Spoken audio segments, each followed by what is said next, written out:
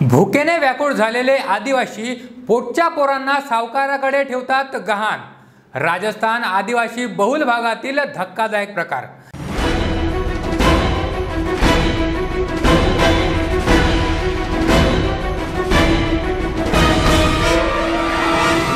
नमस्कार मी स्वप्नील आणि आपण पाहतात एम एन मराठी. मोलमजुरी मिळत नसल्याने भुकेने व्याकुळ झालेले आदिवासी अन्नाची भूक भागवण्यासाठी चक्क पोटच्या पोरांना सावकाराकडे गहाण ठेवत आहेत. राजस्थान आदिवासी बहुल भागात हा धक्कादायक प्रकार उघडकीस आला आहे. यामध्ये दलालांची मात्र चांदी होत आहे.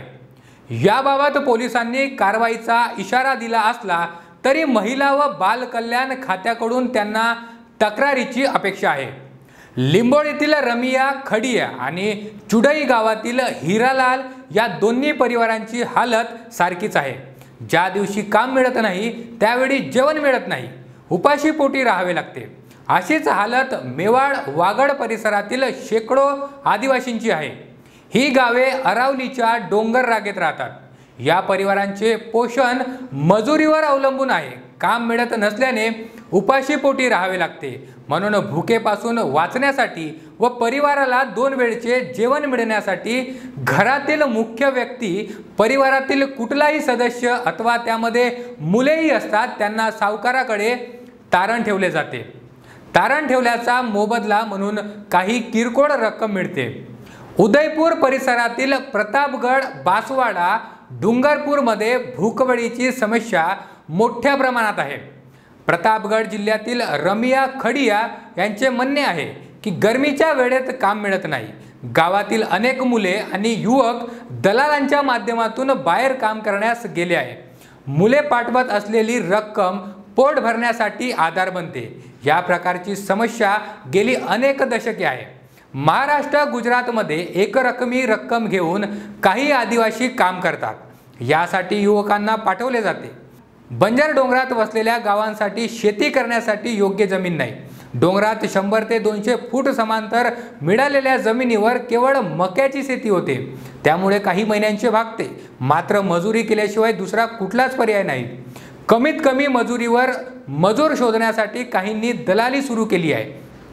आदिवासींची निरक्षरता असहाय्यतेचा लाभ दलालाकडून उठवला जात आहे.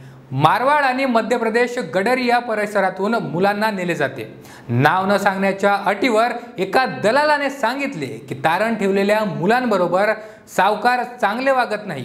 तो त्यांच्याशी गैरवर्तणूक करतो. ज्यावेळी आराम करण्याची वेळ येते त्यावेळी त्यांच्याकडून पाणी आणणे जेवण बनवणे अशी कामे करून घेतली जातात.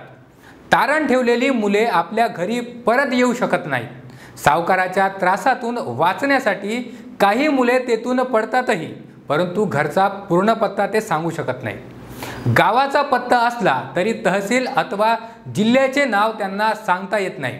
त्यामुळे पुन्हा घरी परतणे त्यांच्यासाठी मुश्किलीचे बनते. काही मुले घरी परत येण्यास यशस्वी झाले परंतु ते आपल्या परिवारासोबत राहत नाहीत. दरम्यान याबाबत बासवाडा पार्वती कटारा येथील महिला व बाल विकास विभागाने स्पष्ट केले की या परिसरातील मुले तारण ठेवण्यात आली आहेत असे समजले होते. परंतु विभागाकडे कुठल्याही प्रकारे तक्रार आलेली नाही. उदयपूर पोलीस महानिरीक्षक प्रफुल्ल कुमार म्हणाले की काही मुलांना तारण ठेवल्याची बातमी समोर आली आहे. त्यावेळी एका दलालास पोलिसांनी पकडले. त्याची कसून चौकशी केली जात आहे? पोटाची भूक भागवण्यासाठी पोटच्या पोरांना तारण ठेवण्याची वेळ आदिवासींवर का आली? याचा विचार करावा लागेल. यामागची कारणमीमांसा लक्षात घेतली तर भारताला ब्राह्मणवादाने घातलेला विडका होय. भारताचा शासक वर्ग असलेला ब्राह्मण संविधान विरोधी काम करत आहे. संविधानात पाचव्या आणि सहाव्या अनुसूचीनुसार आदिवासींना सर्वाधिकार बहाल करण्यात आले आहेत. म्हणजे जंगल जल जमिनीवर आदिवासींचाच कब्जा असेल. त्यांच्या जमिनीवर सरकार कब्जा करू शकत नाही. परंतु सरकारने नॅशनल कॉरिडॉरच्या नावाखाली आदिवासींच्या जमिनीवर ताबा मिळवत त्यांना देशोधडीला लावले आहे. त्यामुळेच आज आदिवासींवर अशी परिस्थिती आली आहे अशा प्रतिक्रिया लोक व्यक्त करताना दिसत आहेत. आतापर्यंत इतकेच. आपण पाहत राहा एम एन मराठी. धन्यवाद.